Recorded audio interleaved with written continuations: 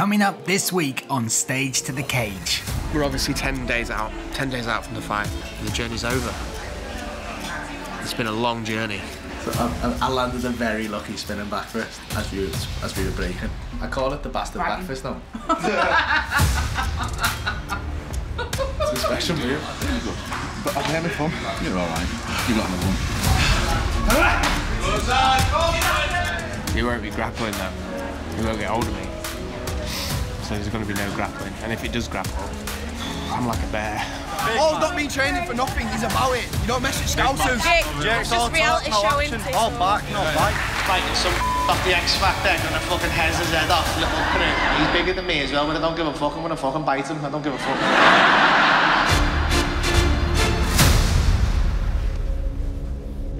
Jake Quickenden versus Paul Smith. The fight we never knew we wanted in our lives is now just days away.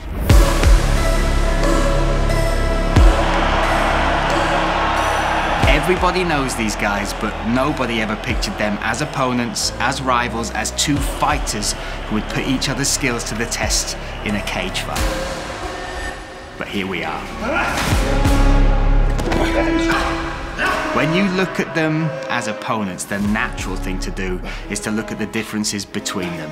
Their height, their physique, fighting styles, backgrounds, personalities. But when I look at them, especially after following them through this series and on this journey, I see so many similarities. Professionally, both have carved their own place in a world which many struggle for 15 minutes of fame, yet alone a career's worth. Personally, both are family men, driven to be better, to be role models, and to inspire their children. Both give their all to absolutely anything they set their minds to.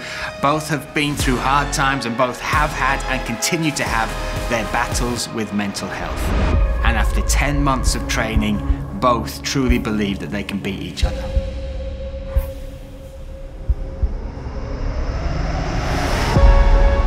End of this series, Stage to the Cage, will not be the end of their journey though. When this show finishes, we will still be days away from the fight on November 4th, and these guys will have the hardest part of this whole preparation still to come. They will have to make weight and hit that welterweight limit of 77.6 kilograms. Both started at over 90 kilograms when they began their preparation. Huge questions have been asked if they will even be able to make that weight and on Fight Week, Oktagon MMA and their team will put out a vlog on their YouTube channel that will follow that part of the journey and that will give us the answer to those questions when they step on that scale on November 3rd. Then, on November 4th, in the AO Arena in Manchester, we will get the answer to the final question.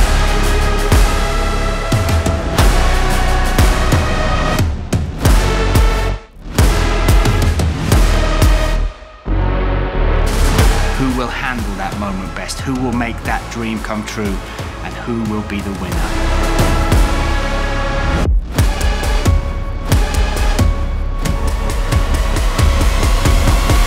Jake Quickenden or Paul Smith.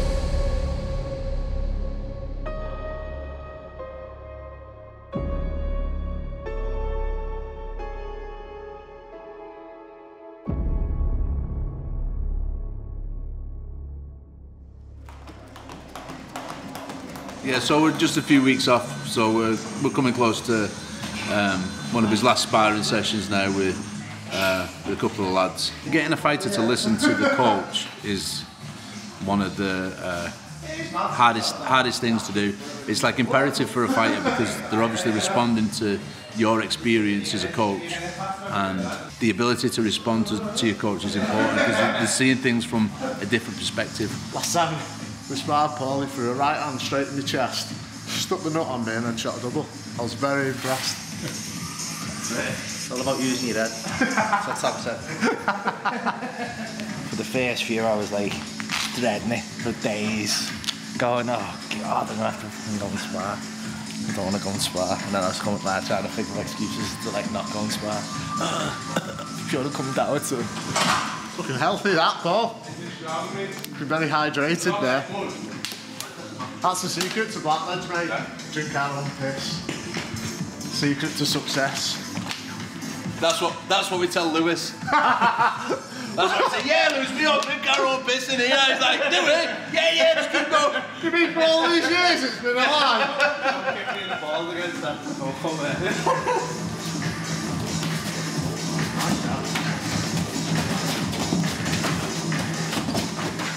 said last time, a lot of people underestimate me, but because you look at my body to his body and you think, fucking hell, he's, he's a monster, but all those muscles need oxygen, mate.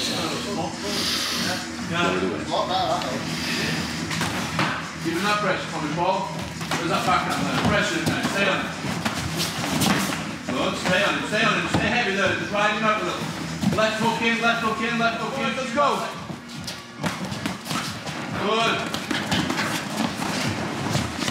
Good. That was good that though, it's the best round we've done that. By a mile. To get like get like a proper spare that now. Really good. Happy. Spinning back for something. good, I know, yeah. Fucking fucking get ironed out. Good. Give that jab, Paul. Let's go. Leave it all here. Good low kick. Pop that jab for me. Get up that fence. Good lad. Push his head circle to his back.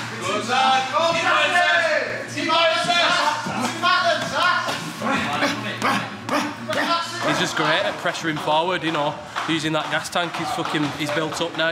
Um, pressure straight forward, very top heavy when he gets on top of you, especially against the cage. And then when we break, them low kicks come in and absolutely kill your leg off. Good work, boys. Hope you get Paul. Walk it off, lad. Good lad. Really good. Really good. But I'm having fun. You're all right. You got another one. Did it surprise you that back fist? Yes, he did. And then after that, and then he went, That's what we were all doing outside. What's that? That's what we were all doing outside when he hit you with it. Yes! Fucking get him! Get him! I'm not Drink gonna his lie, piss. If, if I'd have put you down with that, that video would be on YouTube already. Rightly so. I've worked for fucking hard for a year on this, so yeah, I just want to put a show on for people, and these are all there to watch or watch online.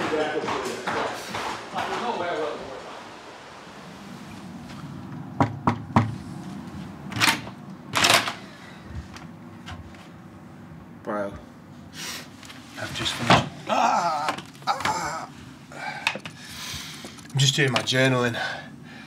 Mate, I've got man flu bad. You don't want to come here. Um, it's like a cave. It's literally like a cave. Does it smell? It smells like breath, doesn't it? I just finished my journaling and then.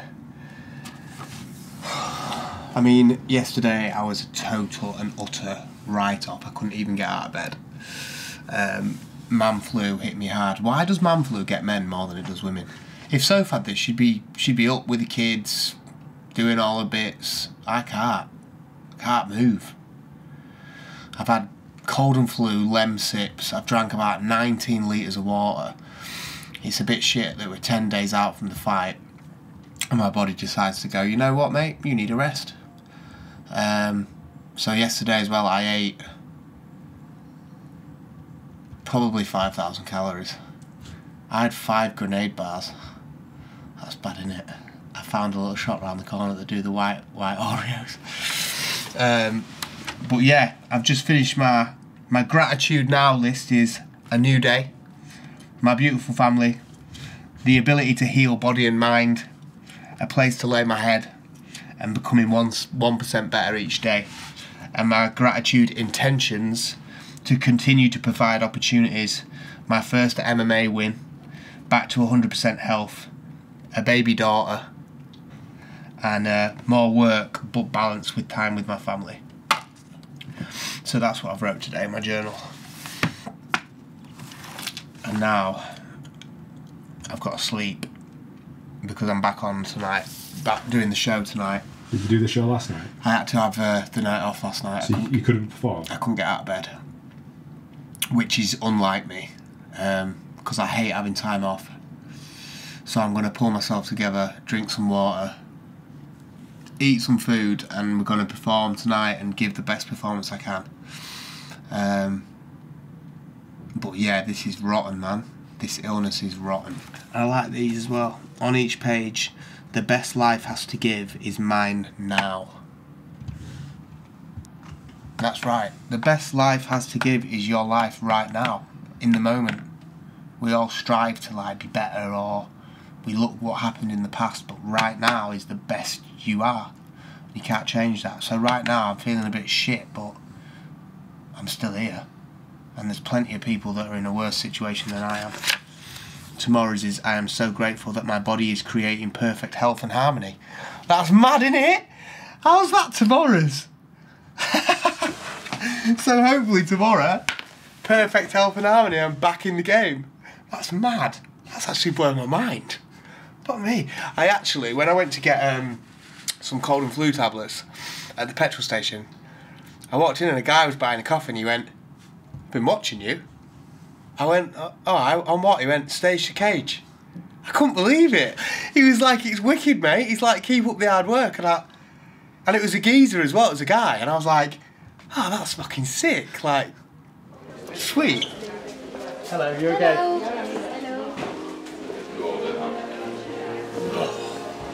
You see that Paul's had a grappling match? Yeah. You watch it? No. Did he win? We'll get a draw. There were no submissions. I think. Good on him. Preparing. He won't be grappling though. He won't get hold of me. So there's going to be no grappling. And if it does grapple, I'm like a bear. Not right now, I'm like a freaking. I'm like a Care Bear right now. But usually I'm like a grizzly. You remember Care Bears? Care Bears in your pocket. Fucking can't wait for it to be over though. I'm so hungry. I've already ordered food for after the show, for after the fight. I've ordered four big trays of brownies. And then I'm going to have a German doner kebab. I'm going to have some cheesy fries, like like loaded fries. And I'm going to have a bag and bucket KFC. Uh, and that'll just be starter. And then we'll just see where we go from there. And then I can't wait, can't wait to get up for breakfast and have like a breakfast with my missus the night, the, the day after. Hopefully, I'm not like bruised and battered and I can get up and have a fry up. We're obviously 10 days out, 10 days out from the fight. Got the cut to go, which is going to be brutal. I've never done a cut before. And I think that's something that I'm quite looking forward to because a lot of people that YouTube reality stars that fight, they never really do a cut, they just fight at a catch weight. So me and Paul are doing it proper because we're doing a cut. So um, we've got that. And then I'm just excited now to get in there and I don't know how the fight's going to go. Anything can happen in MMA. You can be winning for 14 minutes and get caught for the last one. That's the beauty of the beauty of the sport and what I've realised through the training. So I'm just going to go in as prepared as possible. Hopefully, this last 10 days now I can get my body feeling right and I've put in the work. Nobody can take that away from me. I've put in the work, as has Paul. Um, so I'm looking forward to seeing you in there, buddy. Let's put on a nice show. Let's both get home healthy and happy to our families. That's what it's all about. We've done it. The journey's over. It's been a long journey, um, but it's something that I'll never forget. When I tape up those little four ounce gloves and the cage door shuts behind me, all that work that I've done, I've left no stones unturned, and we're gonna go in there, hopefully get the W. But if we don't, then only lessons, no losses. I said that at the beginning of the show, and I'll say it at the end. Only lessons. It's not meant to be. It's not meant to be. But you don't let these little setbacks stop you. I'll continue to move forward, and I've got a lot, a lot to be happy about. I've got a beautiful family. I've got good friends. I've made new friends. Um, yeah, and if you want to follow me and Paul and all the other amazing athletes and sportsmen that are on Oktagon, then follow Oktagon and follow Oktagon UK and Ireland and support the guys, man, because there's nothing like this sport. There's nothing like this sport. Let's have a good night in Manchester, November the 4th. Namaste. See you on fight night.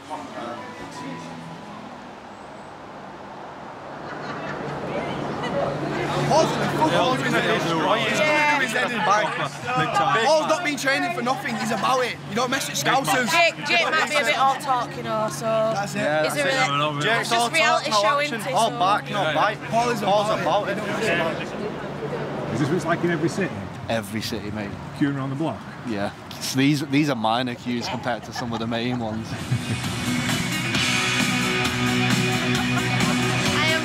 sat on the front. Why? he might um, might pick on us Oh yeah. to ask questions, make some jokes. It's always the best seats in the house, though, isn't it? Oh yeah, definitely Yeah. by a mile. Have you been to a Paul Smith show before? Never. No, we've watched him, time. watched But him watched him on Facebook. ages and TikTok, um, at Hot Water Comedy, but never actually seen him, have we? Exciting. That's right. We are in the O2 Academy in Leeds. Doing another sold out show for Paul's Joker Tour. Um, this, I think this is the, I want to say the fifth or sixth time we've played this venue. Um, it's typically a music venue, so the room acoustically is very good, and um, we always have good shows here, and we always get good crowds from here. And because it's a Wednesday night, I think it's going to be quite a tame one, to be honest.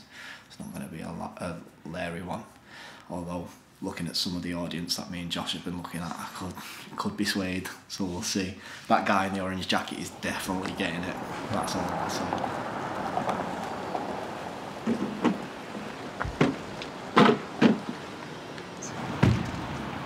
Now, do you want to see what I've got on my feet? Don't take the piss out of it. Don't. I've got Moroccan, Moroccan, Moroc Macroccans. I've got a hole in them. You locked out your own shit. Locked you out? Locked out. Fucking hell. Get that.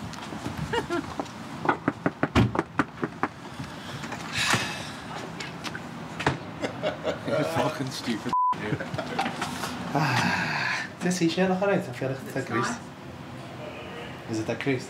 I mean, it is at the back where you sat down, but not the front. Down. No. Not, not enough to do it. So, well, do you mean? Now we can see you back. Except for you later. Oh, yeah. I'm going to get it later. In a horrible way. You sure how to take me back.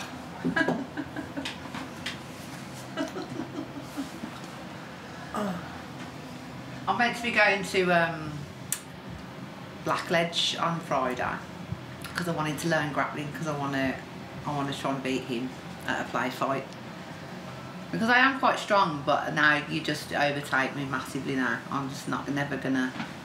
Technique over I just- strength, everyone. Yeah, but that's what I mean. I want to learn the techniques. I want to learn. Te- To be fair, I've seen you throw him across a I room onto pretty a hotel bed, yeah, so. Yeah, yeah, Whoa, what were you filming? you don't It wasn't sexual. Maybe to some people, but definitely not intentional. It was intentional. It was intentional, but not sexual intention. Smash me thumb today. What loose is that? It's, it's, it's, it's not, it's not, nothing that I can't work around, but it's like not bending properly. It's just there. What's that other guy's name you're fighting? Uppercut. Uh, yeah, Jake. Just put a bet on him.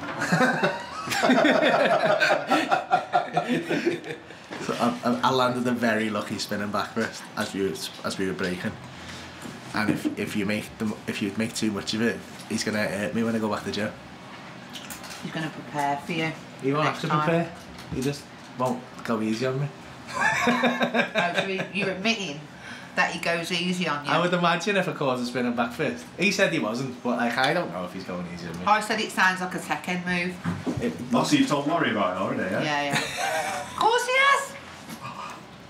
He's proper not stopped going on about it. He's not shut up about it. Sorry, Lou. You're bragging. I call it the bastard Bragging. fist now. it's a special move.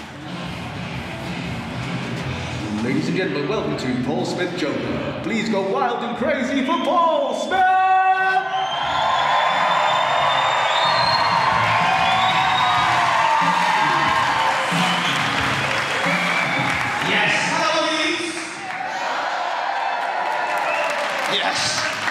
Fighting some off the X Factor, gonna fucking has his head off, little prick.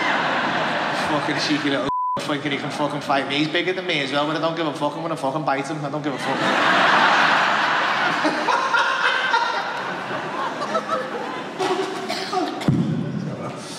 What's your name? Jordan. Jordan. what you just done now? Just your voice just gone. Jordan. Oh, you just done a puke crack then? How old are you, Jaden? 30. Off. Don't lie to me. You're not. I was gonna say, fucking shit yourself then. that nonce would have had you there. When he said he was 13, I was like, nah, because part of me believed him. I thought, no fucking way. But um, yeah.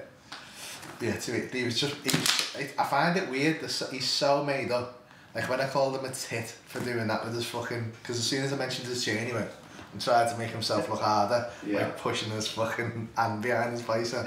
I was like, what are you doing? You and he was like, ah! he was definitely filming me on his phone as well. Yeah. Being evasive, isn't he? It's a bit of a shit house. He's going to be like that. It's because I stink of shit. That's what it's going to be. It's stink of shit, mate. So I'm a grappler I'm just going to start poking into his leg. Oh, do you feel that? Can you feel it?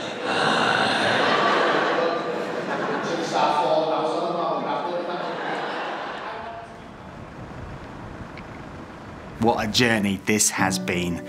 I've said it a thousand times away from the camera, but I will say it here as well. I am so proud of both these men. Not only for the dedication that they have shown, but also to how they have represented the sport of mixed martial arts. How they have shown the beauty of it, the benefits it brings, the work it takes, and also how they have shone a light on the amazing community of people that are part of this world. The question that I get asked most about this show is who do I think will win? On November 4th, yes, one will win and one will lose, but this show, this project for us and for them has been about more than that. This project has been about the journey, about showing people what is possible, what is possible if you dedicate yourself to something if you dare to take yourself outside your comfort zone and if you dare to test yourself in a way that 99.9% of humans never will. Despite all these guys have given, despite all they have shown us on this series in preparation for this fight, and because of who they are in the world of celebrity, there are and there will still be people who will make comments about them who will judge them for even daring to do this. Martial arts is beautiful, and you would be surprised at just who it has inspired. Theodore Roosevelt, the ex-president of the United States, trained in judo, trained in wrestling, and trained in jiu-jitsu. He has a very famous speech, a speech called The Man in the Arena. And as much as I like to think that I could articulate what this journey and what November 4th will mean, I think his speech says it all. It's not the critic who counts. Not the man who points out how the strong man stumbles, or where the doer of deeds could have done them better. The credit belongs to the man who is actually in the arena, whose face is marred by dust and sweat and blood, who strives valiantly, who errs, who comes short again and again, because there is no effort without error or shortcoming. But who actually does strive to do the deeds, who knows great enthusiasms, the great devotion, who spends himself in a worthy cause, who at the best knows in the end the triumph of high achievement, and who at the worst, if he fails, at least fails while daring to be great. So that his place shall never be with those cold and timid souls who neither know victory nor defeat. we have our arena. The AO Arena in Manchester. We have our two men, Jake and Paul, and win or lose, we will see two men who have dared to be great.